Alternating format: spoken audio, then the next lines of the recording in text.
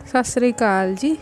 ਅੱਜ ਆਪਾਂ ਬਣਾਉਣ ਲੱਗੇ ਹਾਂ ਵੈਜੀਟੇਬਲ ਰਾਈਸ ਜਿਹਦੇ ਲਈ ਆਪਾਂ ਨੇ ਸਿਮਲਾ ਮਿਰਚ ਲਈ ਆ, ਆਲੂ ਲਏ ਨੇ, ਹਰੀ ਮਿਰਚ, ਪਿਆਜ਼ ਤੇ ਆ ਚੌਲ ਆਪਾਂ ਨੇ ਧੋ ਕੇ ਰੱਖ ਲਏ ਜੀ।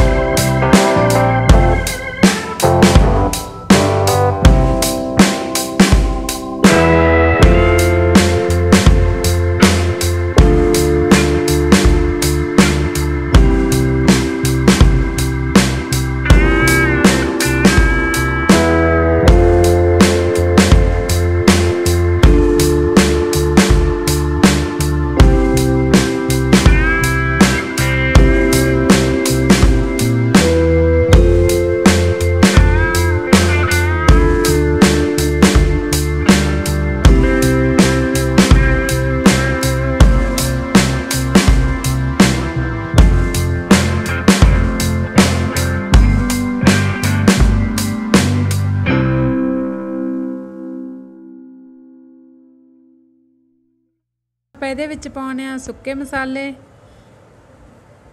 ਮਿਰਚ ਪਾ ਲੈਣੇ ਆ।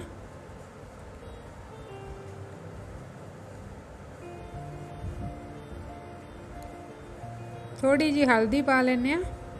ਅੱਧਾ ਕੁ ਚਮਚ ਹਲਦੀ ਦਾ ਪਾ ਲੈਣੇ ਆ। ਸਵਾਦ ਅਨੁਸਾਰ ਨੂਣ ਪਾਉਣੇ ਆ।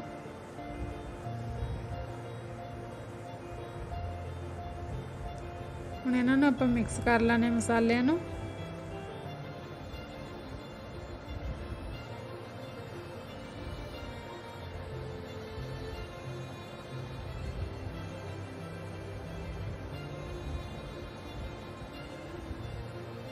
ਥੋੜਾ ਜਿਹਾ ਧਨੀਆ ਪਾਊਡਰ ਪਾ ਲੈਣੇ ਆ ਬਹੁਤੇ ਮਸਾਲੇ ਨਹੀਂ ਪਾਵਾਂਗੇ ਜੀ ਵਿੱਚ।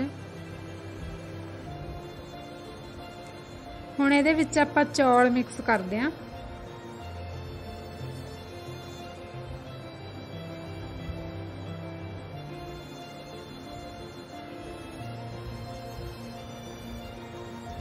ਇਹਨਾਂ ਨੂੰ ਆਪਾਂ 1-2 ਮਿੰਟ ਲਈ ਫਰਾਈ ਕਰਾਂਗੇ ਜੀ ਚੌਲਾਂ ਨੂੰ। ਫਿਰ ਇਹ ਚੌਲ ਕੱਲਾ ਕੱਲਾ ਬਣਦਾ, ਬਿਲਕੁਲ ਨਹੀਂ ਚਿਪਦਾ। ਜੇ ਆਪਾਂ ਪਾਣੀ ਪਾ ਕੇ ਚੌਲ ਪਾਉਣੇ ਆ, ਫਿਰ ਉਹ ਆਪਣੇ ਠੰਡੇ ਹੋ ਕੇ ਗੱਠਾਂ ਬਣ ਜਾਂਦੀਆਂ ਨੇ। ਇਹਨੂੰ ਜਿੰਨਾ ਚਿਰ ਮਰਜ਼ੀ ਰੱਖ ਲਓ, ਬਿਲਕੁਲ ਨਹੀਂ ਚੌਲ ਚਿਪਣਗੇ ਕੱਲਾ ਕੱਲਾ ਚੌਲ ਰਹੂ।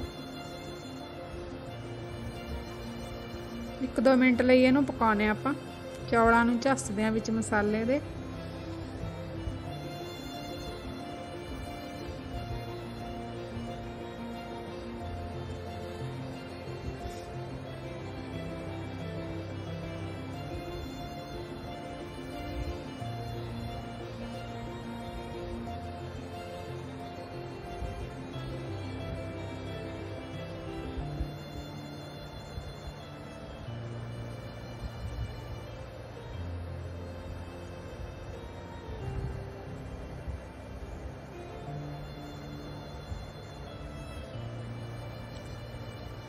ਹੁਣ ਇਹਦੇ ਵਿੱਚ ਆਪਾਂ 2 ਗਲਾਸ ਪਾਣੀ ਦੇ ਐਡ ਕਰਦੇ ਹਾਂ ਜੀ।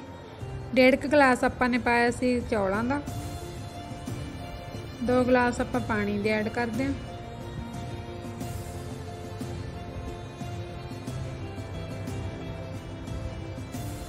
ਹੁਣ ਇਹਨਾਂ ਨੂੰ ਚੰਗੀ ਤਰ੍ਹਾਂ ਮਿਕਸ ਕਰਕੇ ਆਪਾਂ ਕੁੱਕਰ ਨੂੰ ਢੱਕ ਦਿੰਨੇ ਹਾਂ।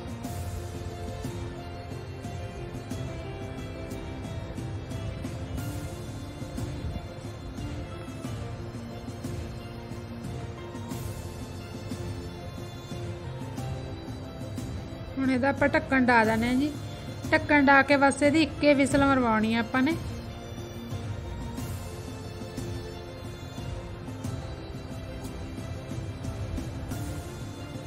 ਲਓ ਜੀ, ਵਿਸਲ ਆਪਣੇ ਕੁੱਕਰ ਦੀ ਵੱਜ ਗਈ। ਗੈਸ ਹੁਣ ਆਪਾਂ ਕਰ ਦਨੇ ਬੰਦ। ਤੇ ਇਹਦੀ ਭਾਫ ਆਪਾਂ ਸੀਟੀ ਚੱਕ ਕੇ ਤਾਂ ਕੱਢ ਦੇਣੇ ਆ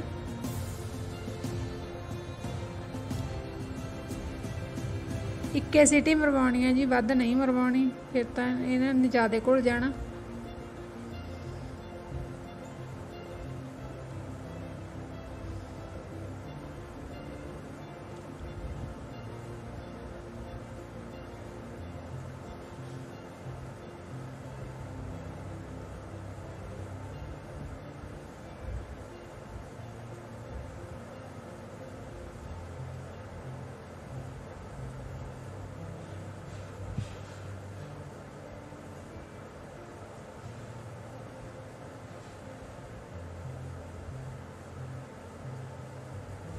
ਲਓ ਜੀ, ਹਵਾ ਆਪਣੀ ਭਾਫ ਬਾਹਰ ਨਿਕਲ ਗਈ।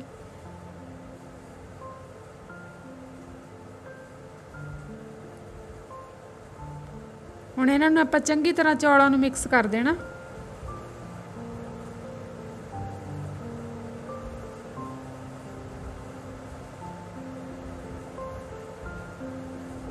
ਕੈਮਰਾ ਮੇਰੇ ਹੱਥ 'ਚ ਹੈ ਜੀ, ਤਾਂ ਕਰਕੇ ਇੱਕ ਪਾਸੇ ਨੂੰ ਜਾਂਦਾ ਮੇਰੇ ਤੋਂ। ਲਓ ਹੁਣ ਇਹਦੀ ਆਪਾਂ ਦੁਬਾਰੇ ਫੇਰ ਸੀਟੀ ਮਰ ਦੁਬਾਰੇ ਆਪਾਂ ਨੇ ਢੱਕਣ ਡਾ ਕੇ 2 ਮਿੰਟ ਵਾਸਤੇ ਹੀ ਰੱਖ ਦੇਣਾ ਬਸ ਇਹ।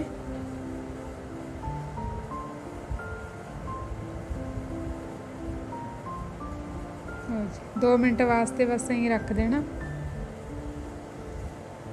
ਗੈਸ ਨਹੀਂ ਲਾਉਣਾ ਅਸੀਂ ਭਾਫ ਬੰਦ ਕਰਨੀ ਹੈ ਇਹਦੀ। ਲਓ ਜੀ, ਚੌਲ ਆਪਣੇ ਬਣ ਕੇ ਤਿਆਰ ਨੇ। ਦੇਖੋ ਕਿੰਨੇ ਸੋਹਣੇ ਬਣੇ ਨੇ, ਕੱਲਾ ਕੱਲਾ ਚੌਲ ਪਿਆ। ਤੁਸੀਂ ਵੀ ਜਰੂਰ ਟਰਾਈ ਕਰਕੇ ਦੇਖਿਓ। ਜੇ ਤੁਹਾਨੂੰ ਸਾਡੀ ਵੀਡੀਓ ਵਧੀਆ ਲੱਗਦੀ ਹੈ ਤਾਂ ਲਾਈਕ ਕਰਿਆ ਕਰੋ ਸ਼ੇਅਰ ਕਰਿਆ ਕਰੋ। ਸਾਡੇ ਚੈਨਲ ਨੂੰ ਸਬਸਕ੍ਰਾਈਬ ਕਰੋ।